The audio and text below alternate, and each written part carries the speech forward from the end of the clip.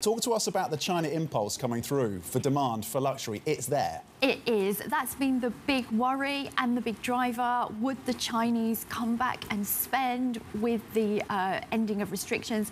And it looks like they are spending. So that is a big relief to the sector.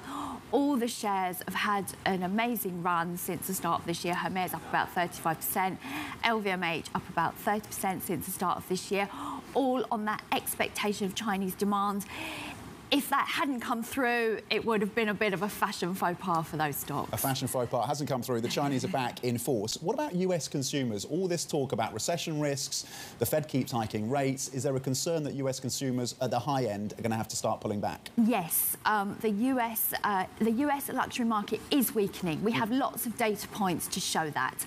It is really the younger, more aspirational luxury buyer who used uh, crypto gains, stimulus checks, stock trading gains to buy a pair of designer sneakers or a Gucci handbag over the past couple of years.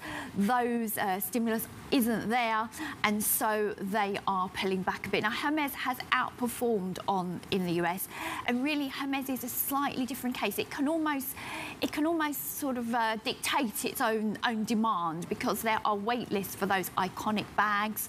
If you can't quite afford one of those you can buy some Hermes makeup, you can buy a Hermes scarf.